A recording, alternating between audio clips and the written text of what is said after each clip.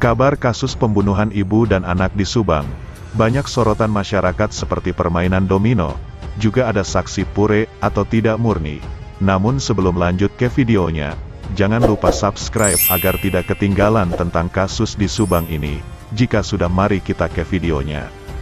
Diketahui publik dan masyarakat, lambatnya penunjukan pelaku bikin gerah dan penasaran.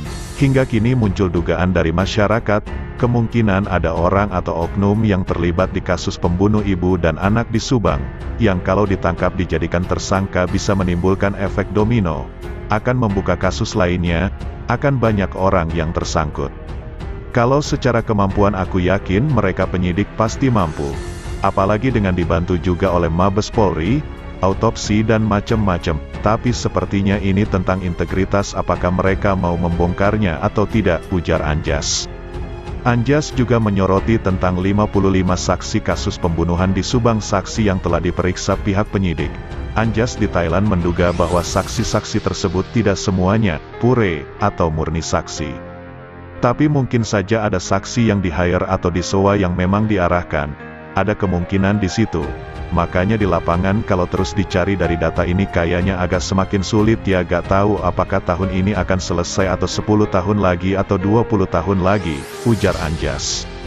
Sebab itu Anjas juga mengatakan jika berdasarkan kepada keterangan saksi agak sulit melalui jalur ini untuk menentukan tersangka pembunuh di Subang ini.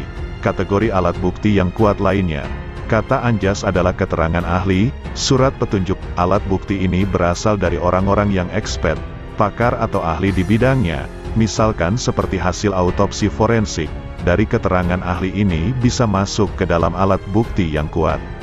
Anjas juga menyoroti bukti-bukti yang sudah diekspos media massa dalam kasus pembunuh ibu dan anak ini.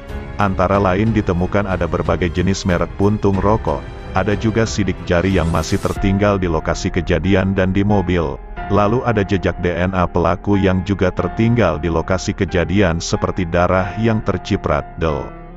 Selain itu Anjas juga menduga, pada saat tahu lokasi CCTV mana yang aktif, pelaku pembunuhan di Subang tidak hanya menghindari pada saat terjadinya eksekusi tapi juga sengaja menunjukkan dirinya di CCTV itu untuk memuluskan framing-framing mereka. Namun lepas dari semua itu, Anjas di Thailand menjelaskan, pengungkapan kasus pembunuh ibu dan anak di Subang menjadi salah satu tantangan bagi tim Polda Jabar dan Polres Subang untuk menunjukkan integritasnya. Apakah beneran tim penyidik memang belum memiliki dua alat bukti yang kuat ataukah ketakutan ada efek domino? Kata Anjas. Terima kasih telah menonton videonya. Jangan lupa subscribe, like, dan komen. Sampai jumpa di video selanjutnya.